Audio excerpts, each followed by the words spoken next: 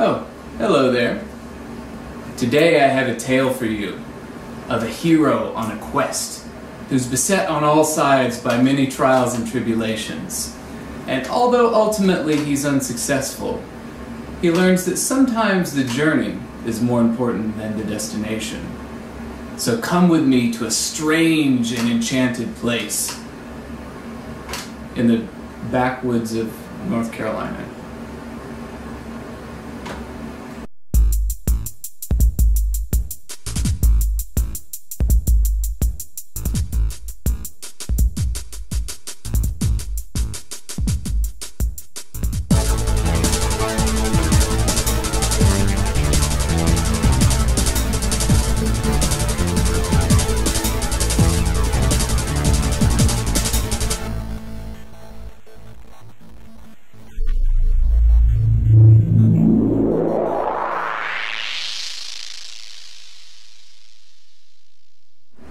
Okay, so for those of you who made it through the corny little intro there, I just wanted to share kind of a funny story with you of something that's happened since I got back, and it is gaming related.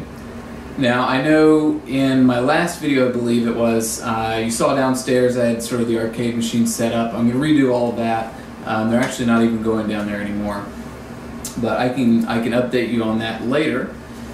And I was thinking to get at least one classic machine, mainly because I'd like to have the four-way joystick, and that way I could do, you know, Pac-Man is Pac-Man, um, uh, Donkey Kong, those kind of things that really don't work with an eight-way.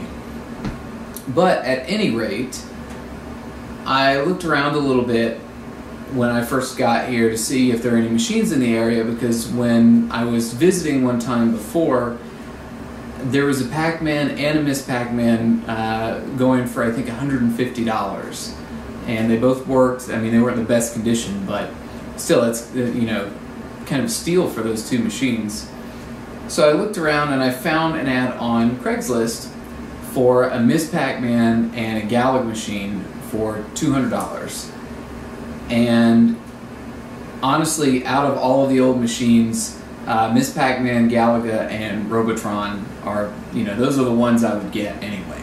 So I was like, this is going to be great. Uh, they looked in reasonably good condition. I checked the address on uh, Craigslist and it looked like it was uh, sort of like storage building. So I was like, oh, well, someone's got it in storage.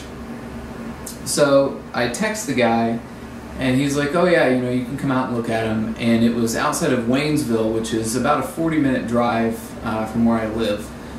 So I went after work one day and I drove out there and I get out there and it's sort of like, it's not even in Waynesville, it's like in the middle of nowhere.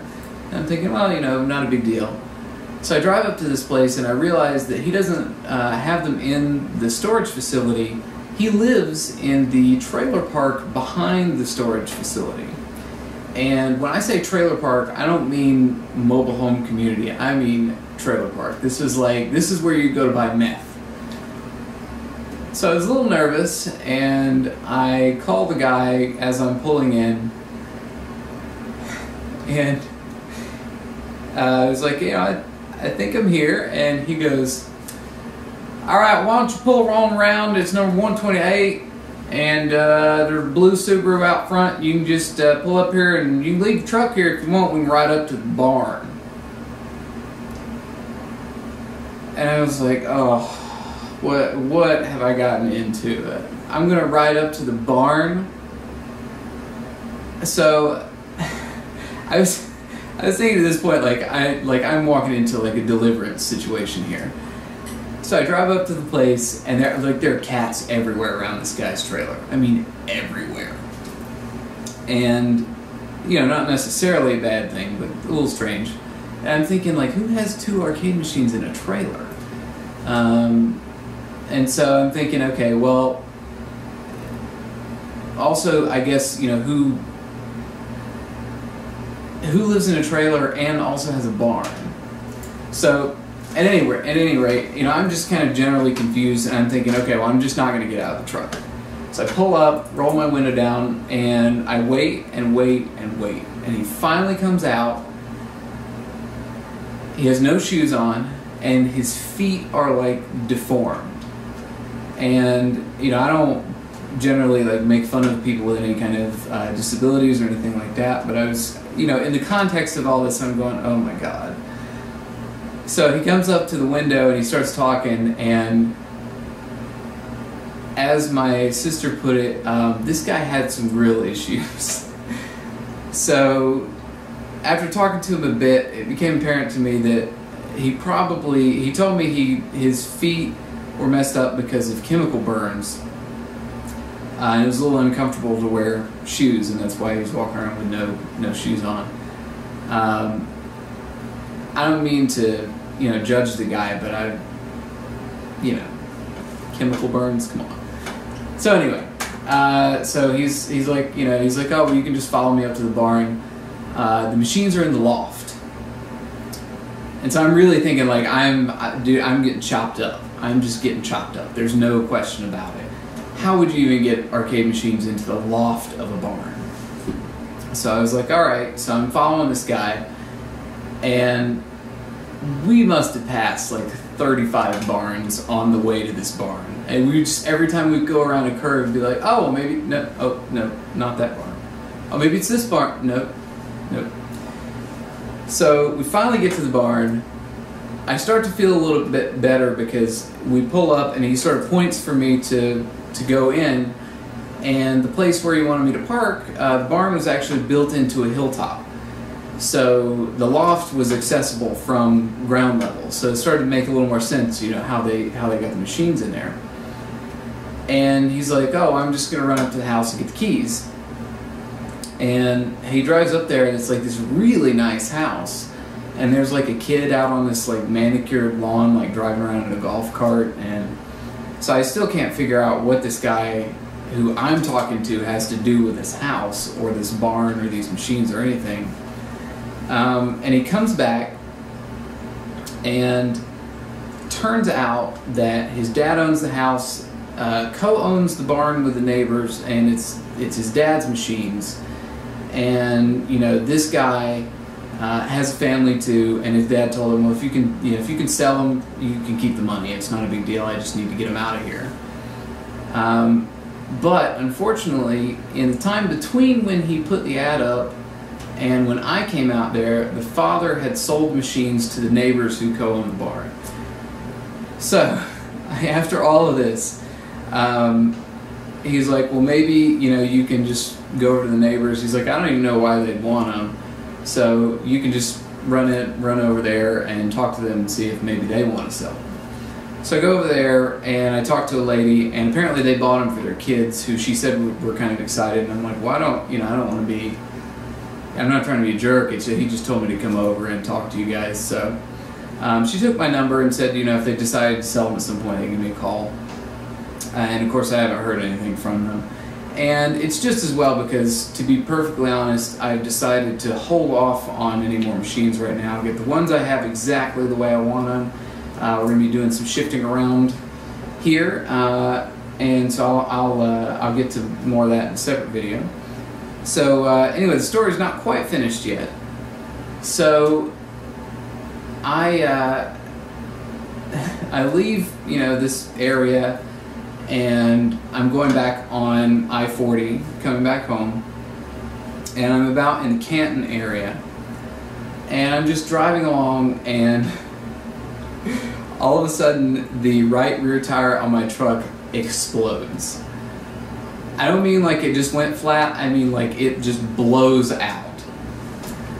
And I mean the whole the whole side of it just, was shredded. I mean it was ridiculous. And it was all I could do to keep control of the truck and get it off the interstate so that I could get the tire changed. And it's probably just as well I didn't have uh, arcade machines in the back because that would have been a disaster. So I, when that happened, I just sort of was like, you know, like maybe you know the universe is trying to tell me that I need to, you know, need to hold off on this for a bit. So I'm out there changing the tire, and uh, I get the tire changed, and it was, you know, it gave me a little bit of trouble, and I didn't, you know, I didn't know where the spare even was and how to get to it, and so I had to sort of figure all that out. And so I get the tire changed. Seems like it's going to be all right. And I had gotten the truck down off of the jack, and I was just going around tightening the, the lugs one last time to make sure, because I was like, that's all I need is for this spare to fall off on the way home. And all of a sudden, I hear a guy's voice, and I look up, and my passenger door was open, so I see this guy's head over the top. And he says something about, you know, oh, you know, it's a, something about safety or something like that. And I was like, oh, yeah, sure. And I'm thinking, like, oh, well, he's just a you know, passing motorists, just trying to be friendly, stop and, you know, uh, offer some help if you can. And uh, so I get up and I walk up to the pastor's door, and the guy's still talking, and he's and then he's like, "Is this your hat?" And I looked at him and I was like, and he just had like a hat in his hand. I was like, "No," and I realized at this point that he's slurring pretty significantly. So then I look up and I realize this guy doesn't have a car. He's just out walking along the interstate. And I mean he didn't he didn't appear to be homeless or anything. I mean he was dressed normally and looked like he'd bathed recently and all that sort of thing. But yeah, he definitely did not have a car on him or with him. And so so he keeps starting into these like various stories and I'm not sure exactly what he wants, but you know, he'll start into, oh, Asheville's is, is a great place. It's a great, it's great city. Let me, wait, let me get to the point. Let me get to the point. And every time he would start like a new story, he would have to try to get to the point again. And I don't know what the point was this guy was trying to get to, but he was not getting to it. So I'm just sort of like nodding. I'm like, oh yeah, sure, yeah. And I'm, you know, like starting to put things away and I had a block in front of the the left, uh, the driver's side front tire, which you're supposed to do if you jack up uh, the other side of the truck. You're supposed to block the other one. So I'm walking around the front of the truck, and I reach down and I get the block out, and my my dad calls my cell phone because I had called him to you know let him know I'm maybe stranded out here if I can't figure out how to get the spare out, you know, because uh, he's a car guy, so like you know maybe maybe he could uh, uh, come out and assist if I couldn't couldn't get everything together because I wasn't even sure there was a spare. But at any rate, uh, so my dad calls just to you know make sure everything's cool, and I just picked up the phone and I was like, "Hey Dad, can you hold on a minute?" And I threw the block in the truck, just got in and drove drove off. And I looked back in my rearview mirror, and I saw the guy, and he just sort of looked and he was like, and just kept walking. So I don't know if maybe, you know, maybe his wife threw him out of the car because he was drunk in the middle of the day or what the deal was. But yeah, it was quite a trip. And, you know, it was just sort of like a, hey, welcome, you know, welcome back to North Carolina. Let's go out to the boonies and meet up, you know, meet up with a bunch of rednecks. So uh, anyway, I'm happy that I survived. I didn't get chopped up. So that was kind of nice. And uh, like I said, you know, I decided that maybe now's not the time for new machines anyway. I had a little bit of work I, I want to do on the machines that I have, so I'm going to do that. And uh, yeah, I'll keep you guys updated on how everything's going. So, hope you like my story. Um, let me know if you guys have any have any sort of funny stories of just running into crazy people while you're doing any kind of gaming kind of things. You gotta leave comment. Video response would be awesome if you guys have some funny stories of, of this sort of nature, even if it's not gaming related. Everybody likes stories of people running into crazy people. So I suppose that's all.